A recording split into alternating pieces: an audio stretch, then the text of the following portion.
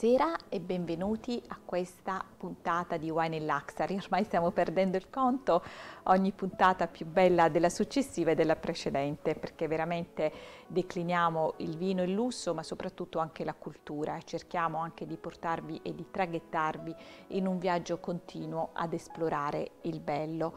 Quest'oggi anche avremo tantissimi ospiti, tantissime curiosità che viaggiano proprio nel mondo del vino e del lusso.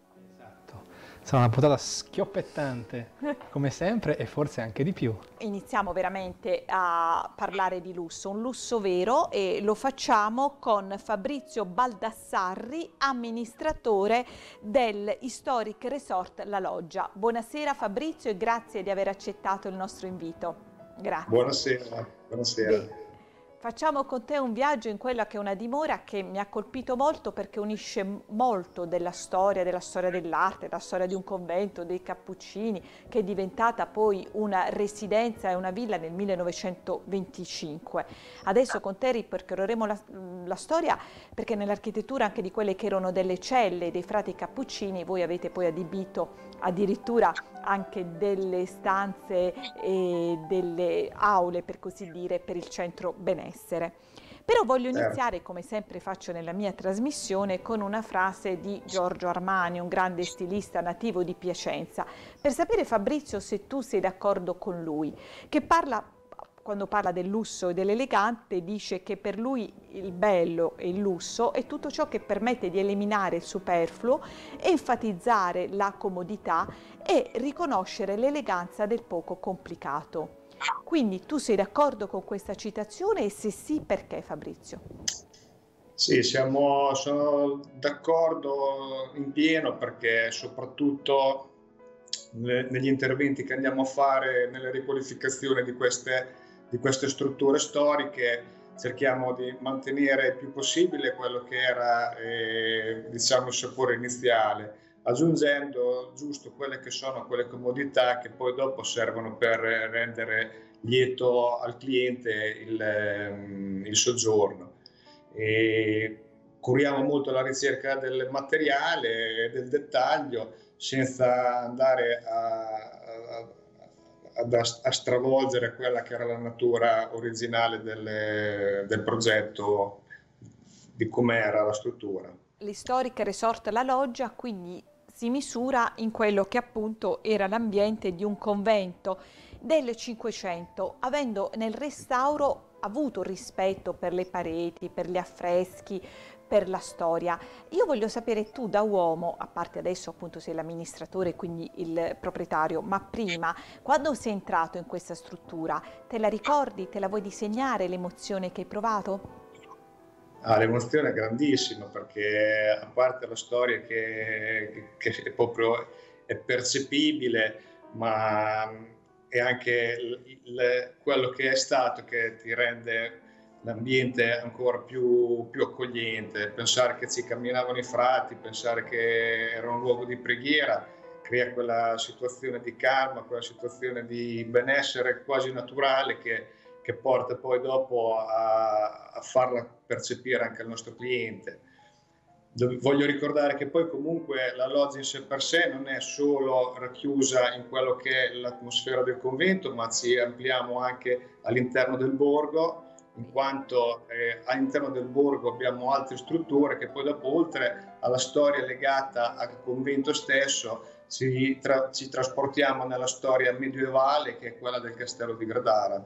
Quindi, abbiamo parlato le... per i 700 anni di Dante e quindi invitiamo ancora i nostri telespettatori a, a parte a fare un viaggio nella storia di Paolo e Francesca, ma anche proprio a guardare con un aspetto anche medievale e calato nel 2021 il borgo di Gradara, quindi il castello, la torre dell'orologio che nella tua eh, residenza, nella tua struttura ben sono percepibili e visibili. Ma sì. ci fai a innamorare ancora di più soprattutto a noi donne, parlando della Grata Aura, Fabrizio? Grata Aura praticamente è un nuovo progetto che è tutto incentrato sul benessere, quindi con eh, la possibilità che abbiamo di sfruttare gli ambienti esterni del convento, quindi un parco di 8.000 metri quadri, tutto fronte mare, possiamo praticamente eh, far vivere soggiorno in un ambiente diciamo unico nel contesto, dotato di servizi aggiuntivi che sono quelli della piscina, campi da tennis, percorsi diciamo trekking lungo la collina di Gradara. E è una piccola zona benessere diciamo accogliente, intima nella quale i nostri clienti si possono immergere in piscine, bagni turchi, sauna, tutto quello Entrare che proprio in un ambiente di grande pax come i monaci ci hanno insegnato, però aggiungendoci un benessere che è poi un benessere del corpo e dell'anima. E quindi l'ospite, quando varca la soglia della tua residenza e quando va via, cosa ti lascia come complimento che tu oggi ricordi e ti tatui come eh, diciamo, apprezzamento lodevole?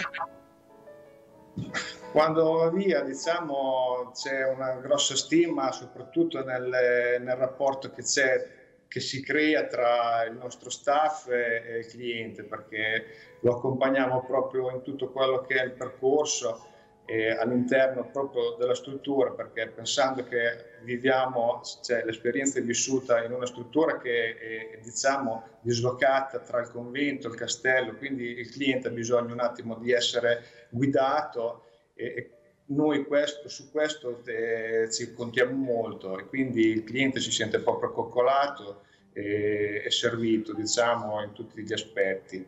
E quindi loro soprattutto, soprattutto questo aspetto qui lo, ce lo fanno proprio notare.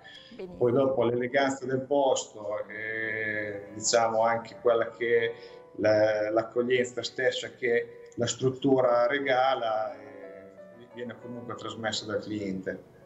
Raffaello vuole prenotare una stanza. Intanto prenoto anche una domanda già che ci sto, perché certo. eh, la vostra struttura viene definita un albergo diffuso, allora mi faceva piacere poter illustrare ai nostri spettatori che cosa sia di preciso un albergo diffuso, Fabrizio.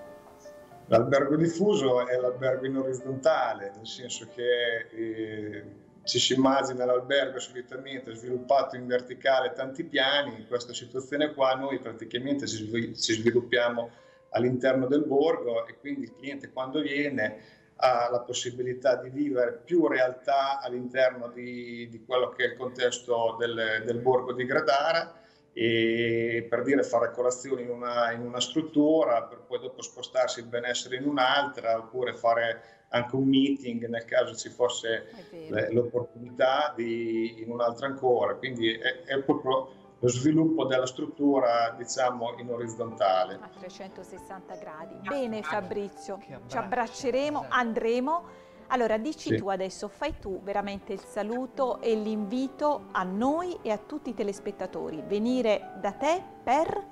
Venite, venite a Gradara e colgo l'occasione anche per, per proporvi una, un'occasione in più eh, stiamo sviluppando un evento dal 5 di giugno al, eh, al 26 dove praticamente eh, raccoglieremo opere d'arte di 18 artisti di arte contemporanea all'interno del borgo in concomitanza anche con l'aiuto del comune che ci ha dato delle zone creeremo un percorso diverso, inconsueto in quanto l'arte contemporanea è, un po' un, uno stacco da quello che è la consuetudine delle, della storia di Gradara.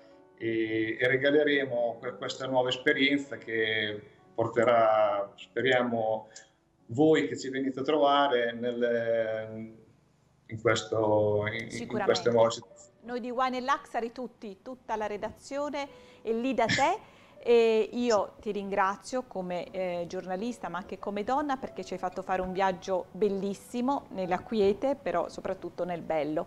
Grazie Fabrizio a te a e a tutta Grazie. la tua squadra e alla tua residenza. Un abbraccio. E bene, cari telespettatori, quindi noi ci chiamiamo Wine e Luxury, quindi secondo te Raffaello, dopo aver parlato del lusso, ora dobbiamo parlare del... Di vino? Benissimo, e questa volta, visto che sei sommelier, introducilo tu. Beh, allora qui parliamo di uno dei più grandi enologi italiani in attività, che ha firmato davvero tantissimi vini pluripremiati. dalla Toscana e con grossa esperienza anche a livello internazionale, soprattutto in Francia. Adesso andremo a conoscere davvero un numero uno, Lorenzo Landi il grande enologo, che è stato quindi dichiarato dalla Guida Essenziale Vini d'Italia il miglior enologo del 2017, ma io credo che sarà per sempre, che è il dottor Lorenzo Landi. Buonasera dottore, ho dato io altri Buonasera. titoli per tutti gli anni. Bene, dottore, mi piace sempre iniziare le interviste con una citazione. Questa mi ha colpito tantissimo del grande filosofo, eh, scrittore retore romano Lucio Apuleio, che diceva che il primo bicchiere che noi beviamo è per la sete, il secondo per la gioia, il terzo per il piacere e l'ultimo, il quarto, per la follia.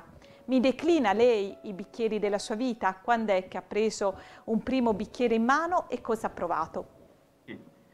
Ma il primo bicchiere forse non lo ricordo neanche perché da, noi siamo, eh, io sono toscano e in Toscana così come in tante zone d'Italia eh, consumare vino era forse più di adesso purtroppo una cosa normale, no? a, a pranzo, a cena, in famiglia, era un'occasione di convivialità e così via. Quindi eh, sicuramente il primo bicchiere l'ho preso, ahimè, tanti tanti anni fa, e, e però mi piace sempre ricordare il fatto che eh, mio padre, insomma la mia famiglia faceva un lavoro completamente diverso, eh, ma aveva questa grande passione per il vino che evidentemente mi ha trasmesso, per cui eh, così, eh, arrivato ai 18 anni, eh, decisi di fare l'enologo e questo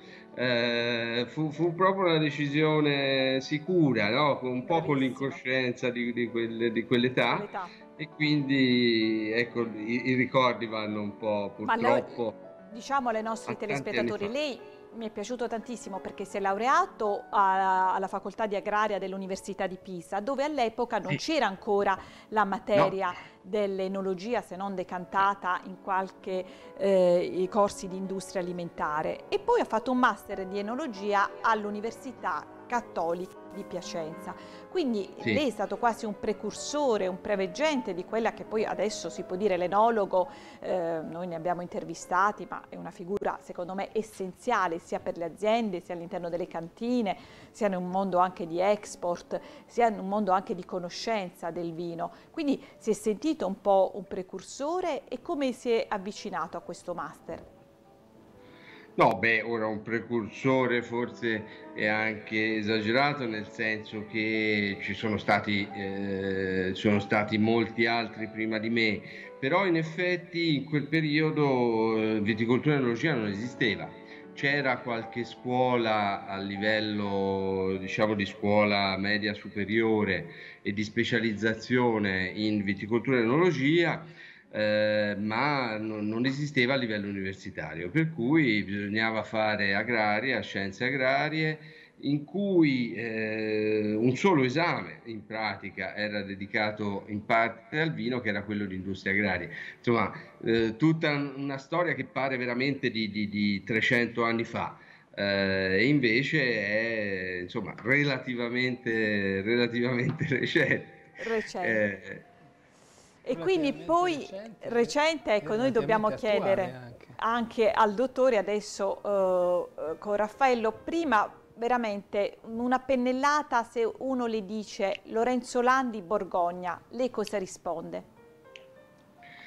Vabbè, io sono stato in Borgogna, la mia prima esperienza in Francia è stata in Borgogna perché eh, subito dopo il master in enologia alla cattolica sono andato in Borgogna dove ho fatto un po' di esperienza facendo la gavetta assoluta, eh, eh, quindi il cantiniere, spostando le barrique e così via.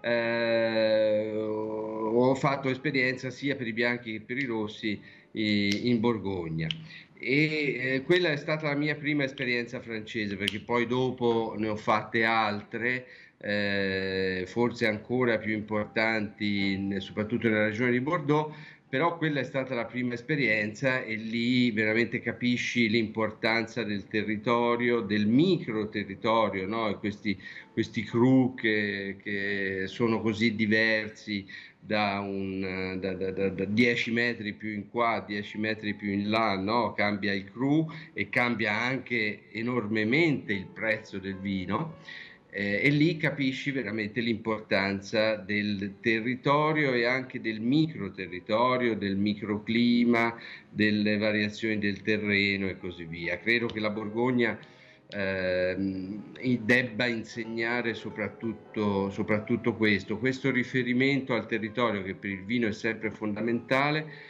ma spinto anche alla scala eh, più piccola e alle differenze eh, molto, molto grandi anche facendo pochi passi nella vigna.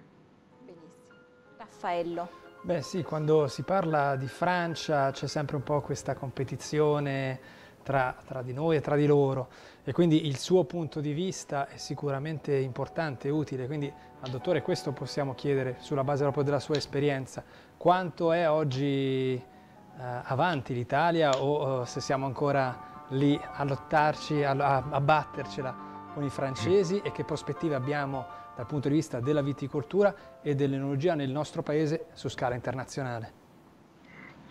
Ma, sa, credo che già battercela con i francesi eh, sia un, insomma, un motivo di orgoglio, credo, per noi italiani, perché eh, per quanto noi abbiamo, io credo, un territorio straordinario, forse ancora maggiormente diversificato rispetto a quello francese, eh, dobbiamo però anche accettare il fatto che eh, il contatto con il mercato dei francesi è sicuramente un qualcosa che viene da più lontano rispetto a noi. Noi abbiamo iniziato a porci sui mercati internazionali negli ultimi, in modo, in modo consistente ovviamente, negli ultimi 40 anni, credo che possiamo dire.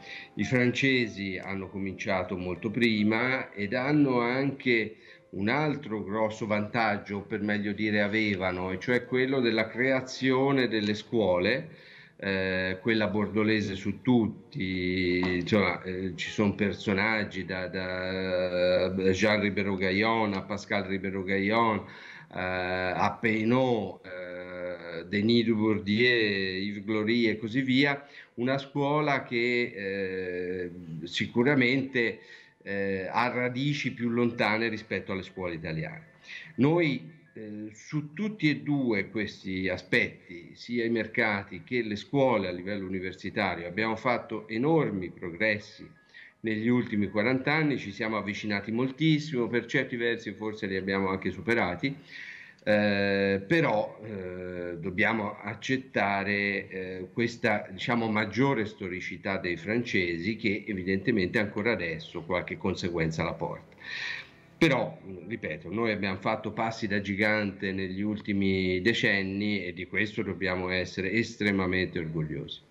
Dottore, io sono una storica dell'arte, quindi so che lei dopo l'esperienza in Francia ha guidato un'importante cantina in un paese che ha dato poi il cognome al grande Leonardo da Vinci. Che ricordo ha di quell'esperienza, visto che insomma è un'autorevole cantina? Molto bello perché sa, un po' sempre, prima di tutto ero giovane, e poi le, la adesso. prima esperienza.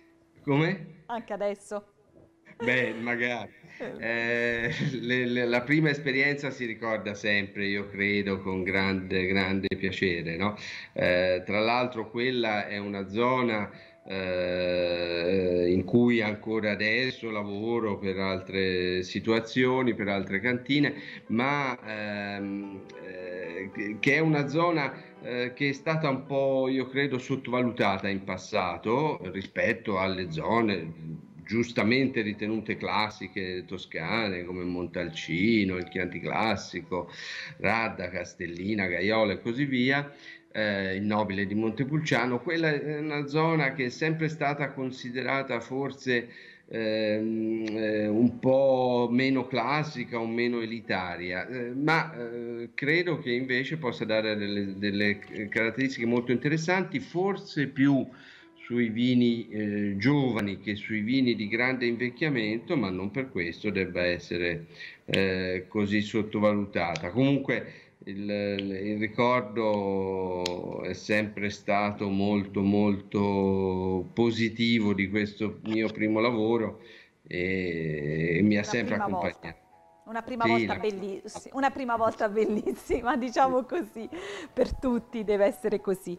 E la volevo salutare con una frase di Goethe, che è un grande scrittore e drammaturgo tedesco, chissà lei come mi risponde, diceva che una donna e un bicchiere di vino soddisfano ogni bisogno, chi non beve e non bacia è peggio che morto.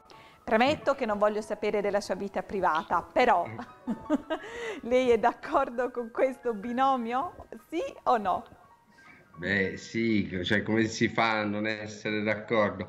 Eh, io credo che il vino eh, abbia naturalmente tutta una serie di aspetti scientifici importanti, anche molto appassionanti, ma eh, che eh, il vino sia legato soprattutto ad un approccio eh, emotivo e che debba dare eh, e dia a, a molte persone grande piacere eh, così come il rapporto eh, con una donna o evidentemente nel caso delle donne con un uomo eh, passionale, emotivo, eh, che, che, quindi ci siano degli elementi di contatto evidenti tra questi due aspetti. Benissimo, allora ringraziamo Goethe, ma ringraziamo soprattutto il dottor Lorenzo Landi per Grazie questo viaggio nel vino e nel bello. Grazie dottore, grazie davvero. Grazie a voi, a con questa sua cultura e questo suo scibile, perché lei come enologo ci accompagna e ci, e ci educa non soltanto a bere, ma soprattutto a conoscere prima di bere. Grazie. Grazie, grazie, a presto. Grazie a lei. Ebbene, cari telespettatori, prima di passare all'ultima parte con il nostro grande Otello Renzi che ormai riscuote successo sempre più, c'è una parentesi dove veramente è un regalo che faccio ai telespettatori, non solo di One Luxury, ma proprio di Rossini TV, che farà secondo me innamorare tutti, uomini e donne, perché devi sapere Raffaello, a parte il vino, a parte le donne, cos'è? Come si dice? Donne? Donne, motori, gioie e dolori. Bravissimo Raffaello, benissimo. E quindi si è detto donne non ne abbiamo, abbiamo motori, però ve lo dico dopo lo stacco pubblicitario. A presto.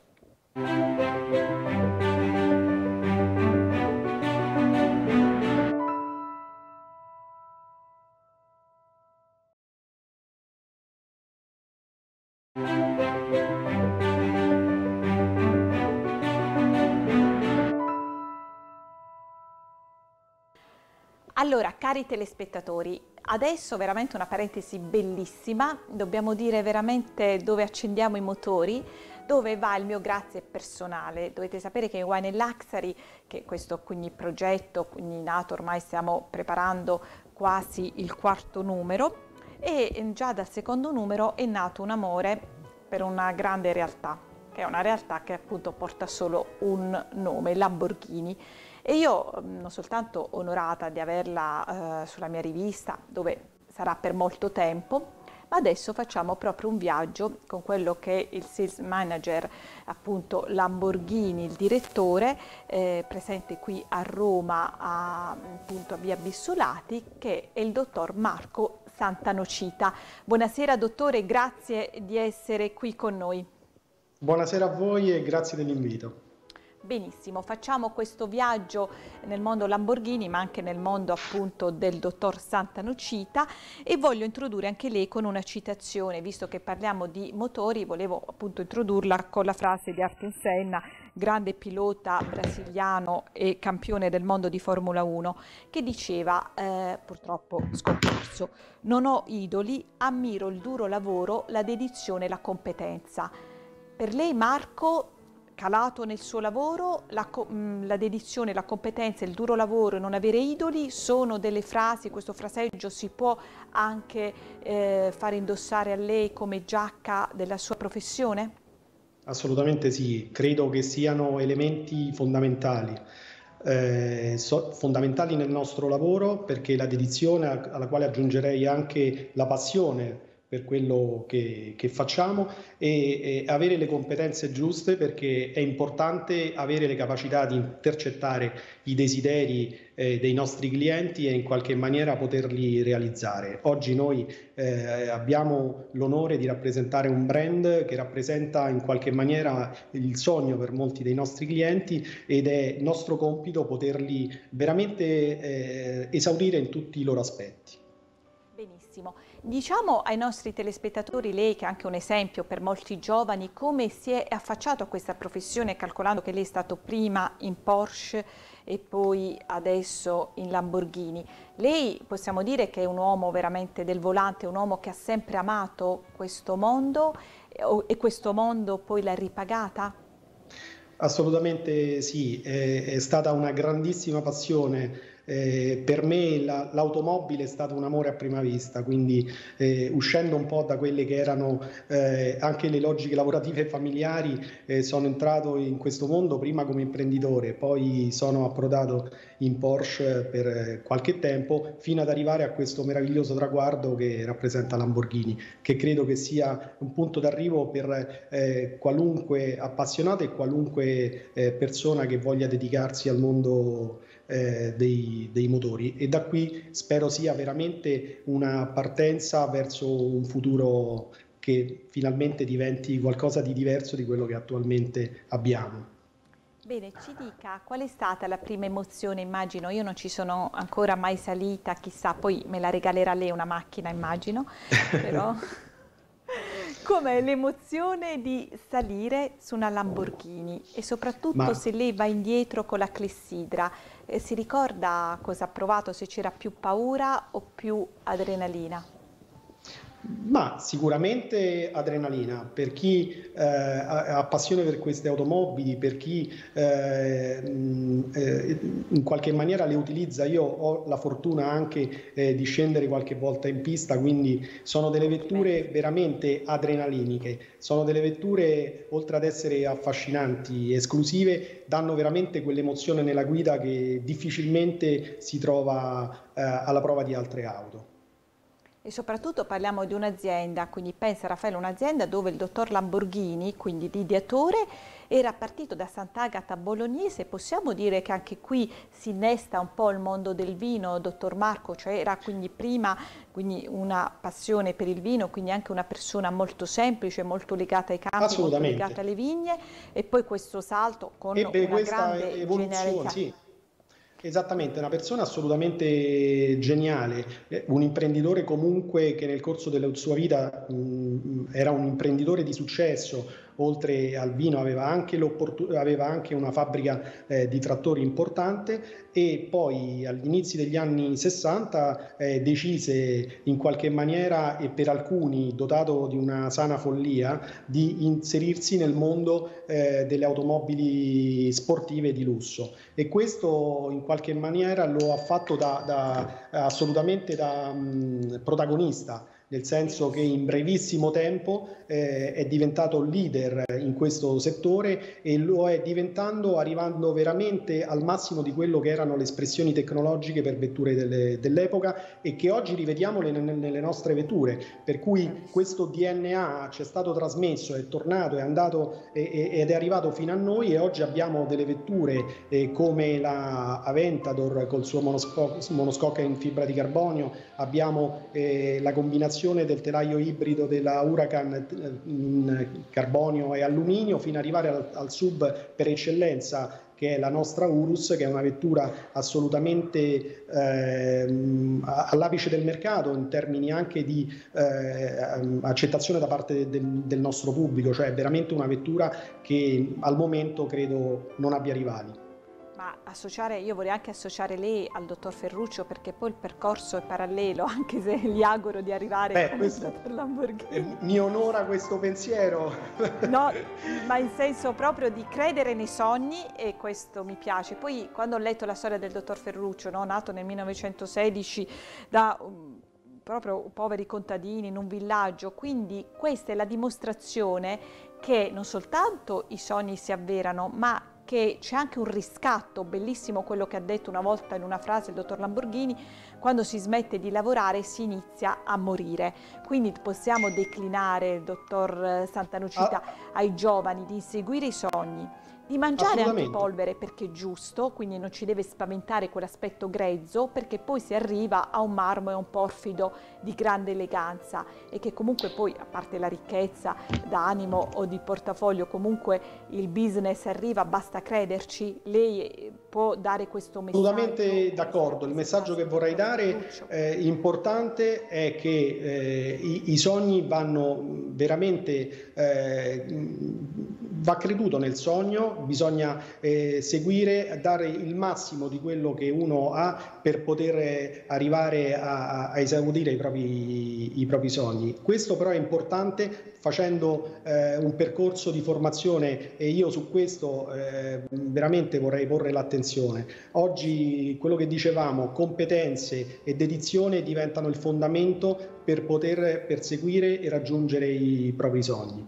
Eh, siamo in un momento particolare in cui c'è necessità di eh, adattarsi sicuramente a delle situazioni nuove, ma nello stesso tempo appunto eh, plasmarsi e poter avere anche eh, un pensiero al futuro, un pensiero positivo. Io sono ottimista per natura e mi piace pensare che in questo momento eh, questa molla che si comprime in qualche maniera a breve rilascerà un'energia tale e tanta che veramente eh, ci porterà un riscatto importante anche come paese.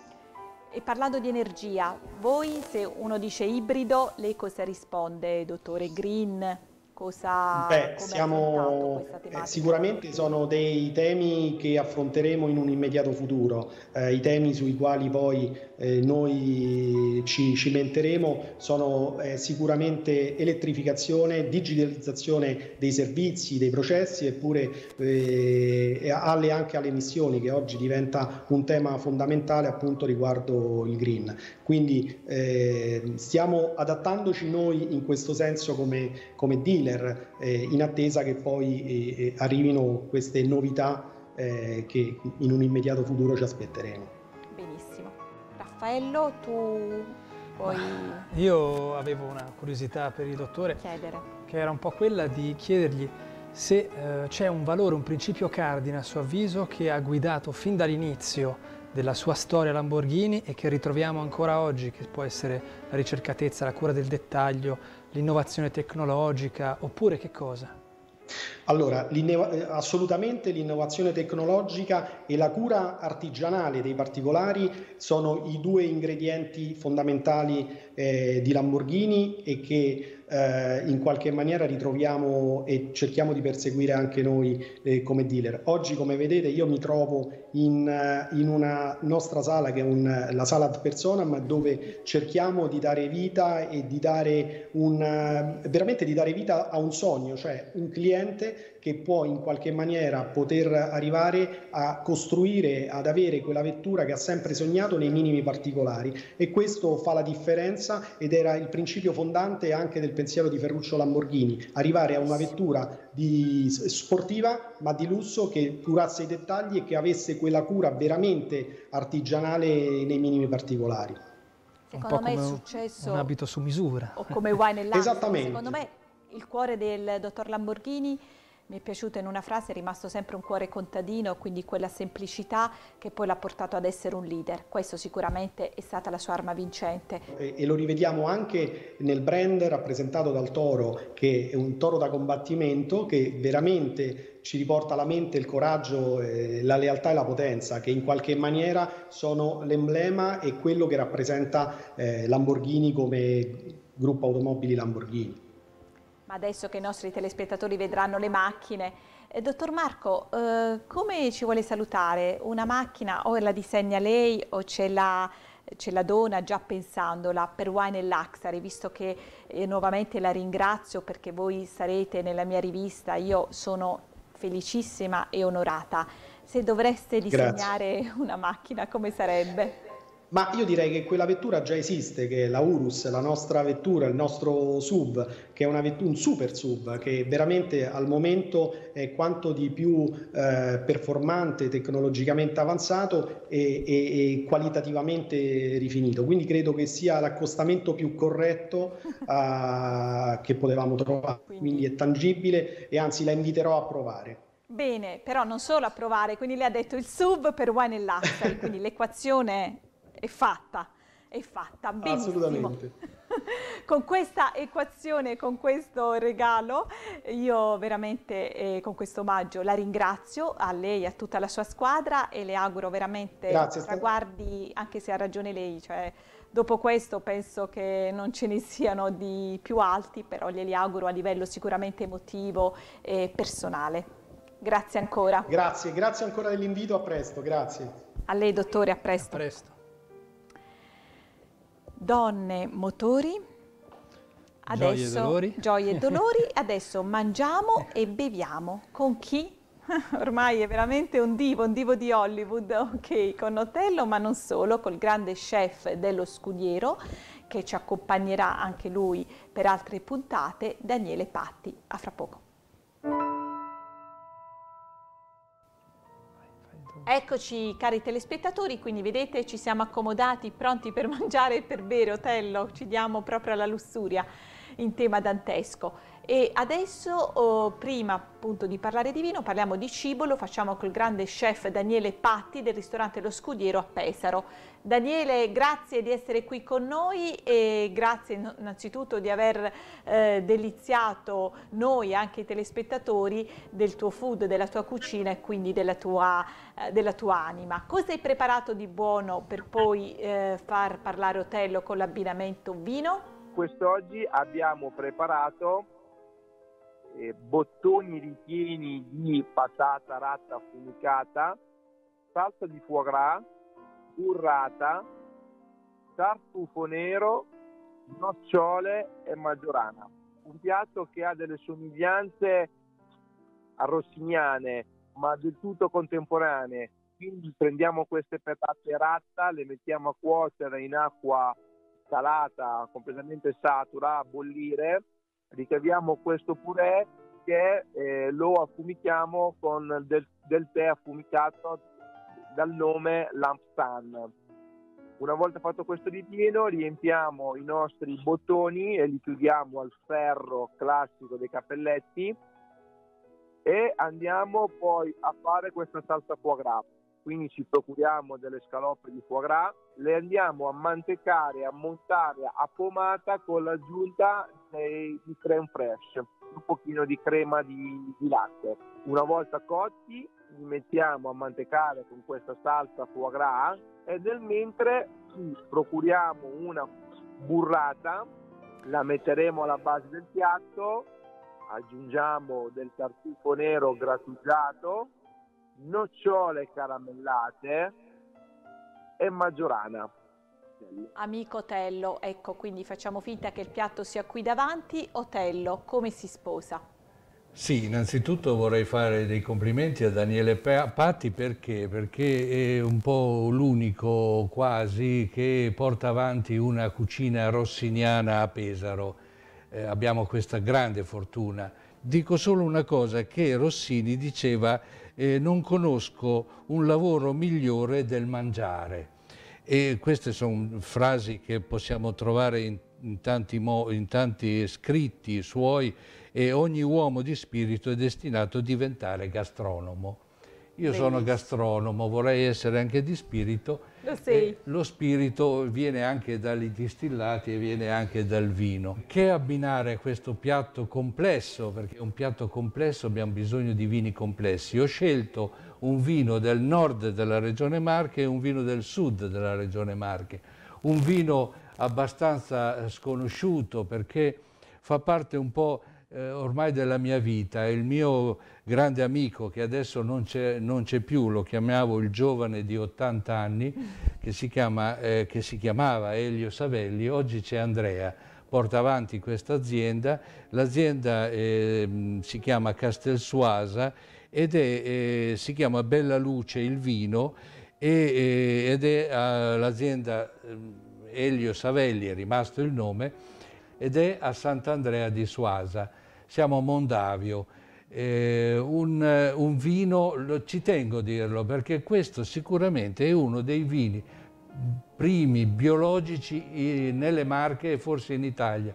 1926 un biologico dal 1926 non ci sono state concimazioni. Benissimo. Quindi lo sentiamo e questo bella luce, anche il nome è importante perché ha colori che sono brillanti e qua è giallo ah, direi trasparentissimo e direi che quando si fa una leggera ossigenazione già ci dà queste sensazioni agrumate. Vedete qui, questo è bergamotto.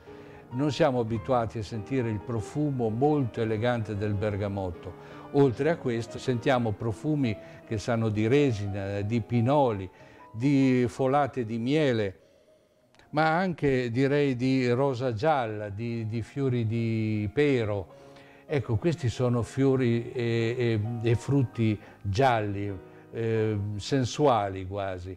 Quando lo mettiamo al palato sentiremo una eh, sensazione di morbidezza che è quasi dolce, ma non è dolce, ha una tendenza dolce e alla fine sentiamo questa persistenza del vino. Un ottimo abbinamento col tartufo bianco perché eh, non ha questa finale troppo ammandorlato e forse anche troppo amaro che eh, non va bene per l'abbinamento col tartufo. Altro vino eh, importantissimo per le Marche perché Angela Velenosi è una nostra ambasciatrice nel mondo dei, de, della sua Ascoli di cui parla sempre ma delle Marche e anche dell'Italia e questo è l'Offida Pecorino Reve io ho un 2017 qui eh, ma è un vino che vi assicuro dura nel tempo, è spettacolare. Questo è un vino, lo vedete, che ha un, un giallo oro, un giallo oro eh, direi quasi antico, molto bello, molto trasparente. E quando lo si mette al naso si ha subito profumo ancora di agrumi, ma in questo caso è il cedro, la pescanoce e poi pensiamo alle signore, la mimosa ad esempio, pensiamo a un profumo di finocchietto selvatico, un profumo di, di mandorla. Buonissimo. Questo è un vino, e chiudo, è un vino di vendemmia tardiva che fa 50% di eh, barrique e 50% in acciaio. Poi viene messo insieme, si fa l'assemblaggio e viene fuori un vino straordinario. Ho parlato di vini bianchi perché col tartufo consiglio sempre il bianco perché non deve mai modificare la struttura del piatto e la presenza del tartufo che un, una, dà sempre una sensazione aromatica. E invece Otello, vini rossi col tartufo ci possono stare? Ecco, vini rossi, eh, cerchiamo di non mortificare mai o comunque rendere sempre armoniosa l'abbinamento. Eh, I vini rossi, eh, quando c'è presenza di carne, un bel filetto al tartufo, parlavo prima di Rossini, il tornedò alla Rossini mi sembra una cosa molto... Ecco, lì bisogna comunque andare col eh, rosso perché è comprimario ormai con eh, il tartufo la carne e quindi abbiamo bisogno di struttura, di sapidità, di tannini. Bene, ringraziamo Tello, ringraziamo lo chef Daniele Patti, noi adesso andiamo a mangiare visto che anche l'ora di cena, però prima vi voglio lasciare, questa volta una citazione, visto anche il periodo che stiamo vivendo, del presidente nostro che è stato Sandro Pertini, intervistato da una grande mm, collega, appunto una giornalista, Oriana Fallaci, grande attivista italiana, che questo voglio sempre lasciare un messaggio ai telespettatori. Cultura significa innanzitutto, diceva il Presidente, creare una coscienza civile, fare in modo che chi studia sia consapevole della dignità, L'uomo di cultura deve reagire a tutto ciò che è offesa alla sua dignità e alla sua coscienza, altrimenti la cultura non serve a nulla. Reagiamo e soprattutto acculturiamoci. Alla prossima, grazie. Grazie, grazie Otello. A voi, grazie a voi. Grazie Raf. E vabbè, no, eh, brindiamo cin cin no come... Eh... Salute. Salute. Alla prossima puntata, grazie.